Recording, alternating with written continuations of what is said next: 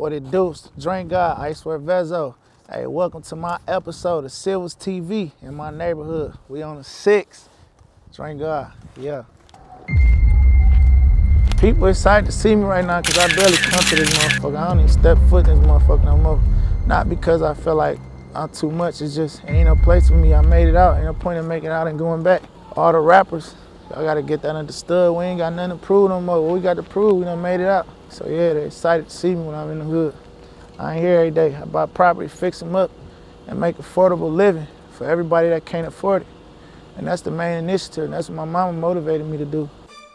The biggest misconception about Detroit is 8 Mile. 8 Mile is the hood in some parts of it, but like people from out of town think Detroit is just 8 Mile. Like we got 6 Mile, 7 Mile, Fenkell, Dexter, Linwood, East Warren, West. There's so many different hoods that play a way bigger part in the city of Detroit than just 8 Mile. We on 6 Mile, we in Detroit, we in the hood. This the block I grew up on, Sanford and Bradford. This the house I grew up in since we first moved to Detroit, you know. Came straight over here, I've been here ever since. This where I got all my motivation from. This where we struggled at. This where I fell on my face at. This where I learned. This where I got back up. This where I jumped off the porch, crawled, walked, everything. I told my mama I was gonna be a millionaire, get rich, and buy the whole block. I just closed on this house two days ago, so we about to start fixing on that. A lot of motherfuckers think like we just be spending money, just spending and jacking our money up. They think we young dumb niggas, but you know, nigga work hard for this shit and just come from nothing. This should be like a dream. Like we dream about this shit, bled, cry, sweat, everything for this shit. So like some shit we just buy as a trophy. You heard? Nigga still smart with that money. Got a lot of investments. Like I ain't only pulling Maybachs up on my block. Bought my block. We're getting ready to get this house too right here. As of now, I don't own that house. So Detroit Land Bank, get with me. When I say we, I mean me and my brothers and my mama. We all doing this as a family collective. It ain't just me. They spend their own money. They put their own money in. Everybody even. Like we all even around the circle. My brother 40 bought this house. We all, like I said, we all put in, fix them up, rent them out, do whatever. You know, a lot of niggas be trying to make it seem like they just was completely poor. I feel like we weren't poor because we had food to eat every night. My mama kept shoes on our feet. You know what I'm saying? Hot food on the motherfucking table. We went to school. Anything we asked for for the holidays, you know, we grew up. We grew up Christian, you know, and then we converted to Islam. But we had, you know, we had beautiful Christmas before we understood what Christmas was. That's another story though. It's too, it's too easy now to, you know, use your mind and take advantage of that talent, that mental. You take what you apply in the streets, you put that shit in business and learn how to grow. That's my godmother right here. She kept me out of trouble. Well, she tried to, the shit ain't work. She did the best she can do. We at the famous Zorbas Coney Island. Everybody from Detroit, Michigan know about Zorbas Coney Island. If you ain't from, if you don't know about Zorbas, you're not from Detroit. It's the most famous restaurant we got down here. We made this motherfucker famous. Donna been having this restaurant since I was a baby, you heard? I done really caught cases up in this motherfucker, all type of shit, you feel me? It's our love right here. She the heart of our hood, real life. Donna the soul of our hood. She really for our people. My homeboy Gigi, rest in peace. He he shot he shot somebody in his eye up here before, right? You know, and um think about this situation, right? It ain't about the fact that he shot somebody. We ain't glorifying that. This is my this is my best friend. We came up here leaving the club one day, and he, you know, he passed away. He, he got in trouble for us, so this ain't nothing like niggas speaking on something that shouldn't be spoken on. Got into a fight with a guy. We playing so much, we making fun of GG. We telling him dog got the best of him. G came up here, shot dude in the eye, right up here. Um, you know, we know, we know, we, we, we knew, we knew the building at the time. You know, Donna would have cussed us out. She would have got on. She don't play that shit. And you know, I was hurt two different ways because I disrespected her. Well, we disrespected her building, you know, and she did so much for us. So that hurt me to see that we hurt her, for one. You know what I mean? But the guy Gigi shot in his eye, Gigi got killed a year later. That guy came to Gigi's funeral, spoke, and forgave him at the funeral. That shit touched me. I can. I, uh, every time I think about Gigi, I think about that. I ain't gonna say that brother name, but you know who you is. I got real respect for you, real love for you. that move you made showed me a lot about pride. This the same restaurant I came up with the name Iced Up Records. Me and my partner Webbo, no cap, we was sitting here eating. And so much happened up here for me. Like the shit made me emotional, like a lot, like shit that I can't even speak on. A lot happened up here, you know, and I mean good moments, you know, uh, bad moments, but every bad moment we learn from that. I get something out of every situation, especially the bad ones.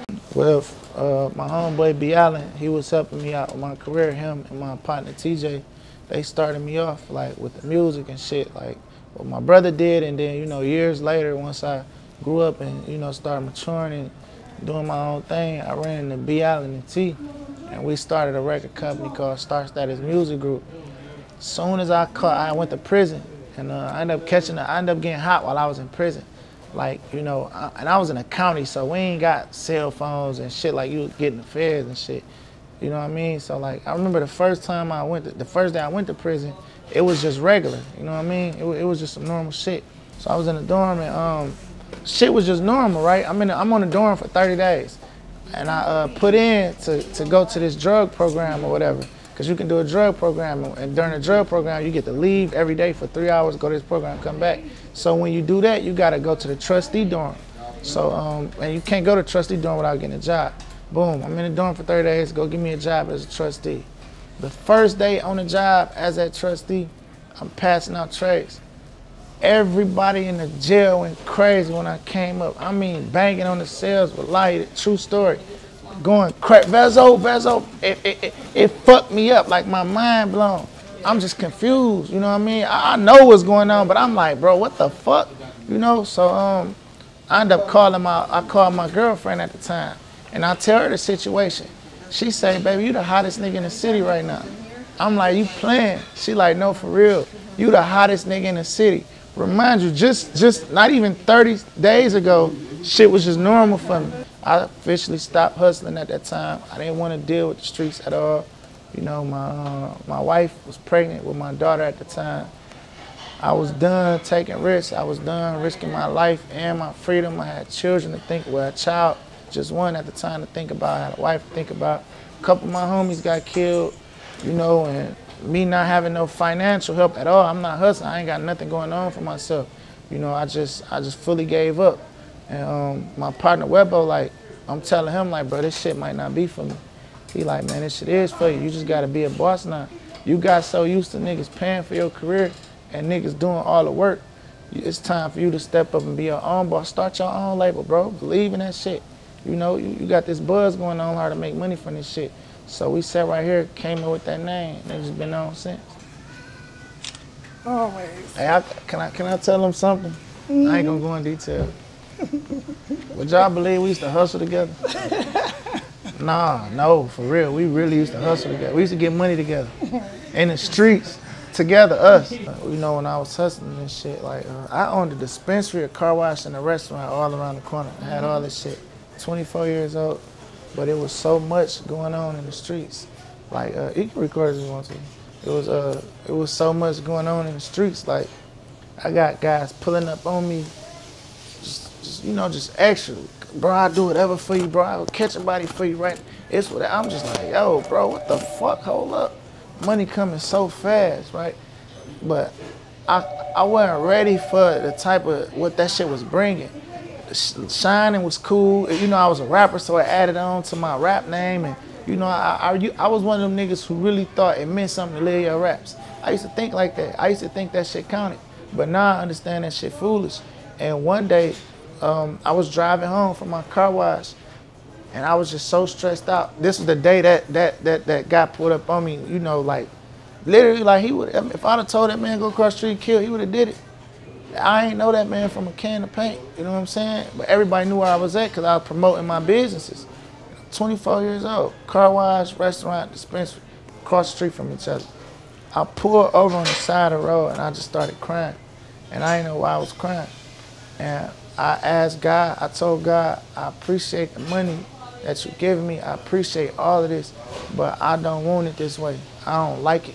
A couple weeks later, I got indicted, and I lost every dollar I had. And I was so happy. I was so happy because I knew right then and there I would never in my life do nothing else illegal. I would never ever sell nothing again. I would never involve myself around niggas who I who I can't count for their acts. You can't account for nobody acts. You never know who you're around. You know, I'm a rapper. I take pictures with everybody. You know what I mean? But I would never involve myself daily around niggas who I might think, you know, doing this and doing that. I knew that day I was gonna make that decision. And I was fucked up for a couple years after that. And then I turned into a multi-millionaire all legally. And here I am. I'm happy with what I got. I've been praying for the wrong things. I've been praying for money when I should have been praying for peace. But God don't give money. But if I was making money from praying, who was I praying to?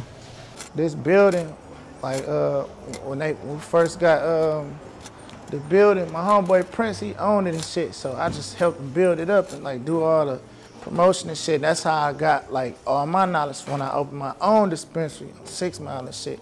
So, you know, we really like tied in like from the ground up with the whole company and shit. Man, when we started this bitch, bro, this bitch was literally from from like that wall to this uh to this door right here. Not even four years later, got eight locations, all major locations. All right, so like with the space, like like I say, it was bro idea and shit. He had hollered at me about it a long ass time ago about just doing more like a trap museum, but more on a more Detroit style, you know what I mean? And like I say, on the gallery side of things too. Like for instance, right, when I signed the Motown Records, it was the 60th anniversary, the 60th year.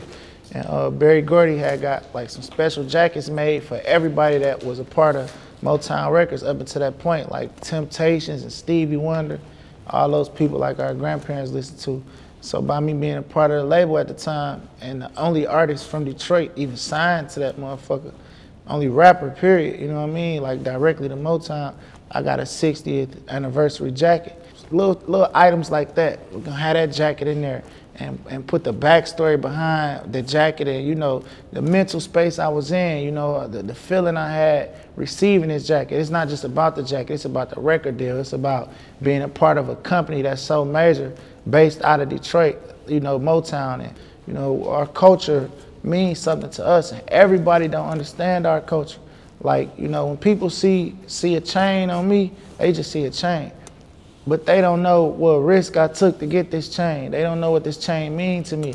I got something engraved on the back that might say, rest in peace, Corey. You know, that's my cousin C-Head. That's who got me, made me a believer in a lot of shit that I'm doing right now. You know, so we just want to let the items tell the stories for themselves. And um, like I say, bro brought me in on it. This was something he had thought about and already, he already had the building being from Detroit like developed me as an artist mainly because of surroundings. You know, I feel like at the end of the day, all hoods the same, all streets the same, every ghetto the same. You know, whether I was from Detroit or any ghetto, I feel like I would be who I am. But culturally, you know, I took a lot from Detroit. I got I got all my motivation from making mistakes. Everything I rap about be shit that I done did in the past or shit that I seen. And, you know, my whole life was a mistake at the time. I ain't gonna lie, uh, as far as my music from then and now, I, I talk about the same shit, I just talk about it differently. You know, I talk about it more raw, more straight to the point, you know, more, ain't no sugarcoating on that shit. You know, we just tell it how we see it. Well, I signed with Motown when I was in the halfway house, leaving from federal prison. It was cool, it was a learning experience. I learned a lot. I had to learn a lot, and you know, I got to see that side of the music industry, just how it worked. You know, like the, the major label thing. It worked out good because I learned a lot. But now I'm currently independent, and I feel like everything worked way better that way. Well, the clarity, when I dropped that, that was just more like a verbal vlog of our everyday life at that time. Everything we were seeing and watching and doing, I just was saying that shit in the song. I, I, do, every time I do a collaboration, I do a song with somebody I really want to work with. So like, like honestly, and I ain't trying to be like politically correct. I, I really fuck with everybody I do collabs with, cause it be shit that I be want to do. I did the scope um, when my man said I got out. Was at the studio kicking it. As soon as I did it, everybody in the studio was like, you gotta put that bit, put Durk on that bitch. Shit, I did it. He did that shit fast. Shot the video. My new single, Play for Keeps. Shit, that's mainly about like, with anything I do, I make sure I do my best at it. And, you know, if I'm gonna go hard, I'm gonna go all the way. I ain't gonna half step nothing. That's what I mean by play for keeps. Like, you know, when I'm come when I come, we coming. The rap game, you know, whether whether any business I got going on, whatever industry that I decide to jump in, whether it's the metaverse, NFTs, real estate, music, you know, I'm playing for keeps. When we play, we plan to win. So that's really what that statement mean, you know, play for keeps. I think everybody should be like that. You should always go in the tension of, you know, mastering whatever it is you got any interest in, you know, mastering your craft. Play for keeps. Shit, as far as like Detroit, getting the love that we're getting right now and just like, you know, having all the eyes on us, that shit count. You know, you gotta understand like niggas like me, Babyface Ray, you know what I mean? Like a lot, just a lot of niggas. Like we've been grinding for so long, pushing this, pushing this same agenda. GT, Peezy, all us. You know, so to see it finally coming to fruition and to pan out the way that it's panning out, that shit just amazing. You know what I mean? Like it's like everybody turned. We got so many big artists out of Michigan right now. It literally, it ain't never been like this, never. But it's just like it, it, it mean more right now with having social media. You know, the the impact just different. My plans for the rest of the year right now is just stay active, just stay growing, stay grinding. I just wrapped up a new film. That's my new movie called Tag. I'm, I'm in the film industry like real heavy, and I'm doing this shit the independent way. And like you know, with me, independence ain't about making all the money. It's just about learning and growing. You know, with your craft, so you can be able to teach other people. If I if I'm not doing it independent way, then you know I got that's like having a major label. You know they gonna do all the work for you, versus you being hands on and, and, and ten toes down in the business and learning this shit as it go on. But you know to go back, you know we just dropping hella music and mixtape after mixtape. I got Rich Off Pints three coming soon. You know then I'm gonna drop my very first album, inshallah, towards like the end of the year. I want my legacy to be for my kids. You know that's it. Um, you know, usually when people speak on legacies, that's more so of how do how would they want people to remember them once they done doing what they doing. How would they want people to think of them? But with me, it's like I don't care what nobody think about me. You know, what other people feel about me don't matter to me.